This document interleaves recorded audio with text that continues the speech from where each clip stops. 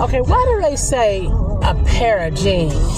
And I can see they say a pair of shoes because it's a pair, it's two. But when you get a t-shirt, you say a t-shirt.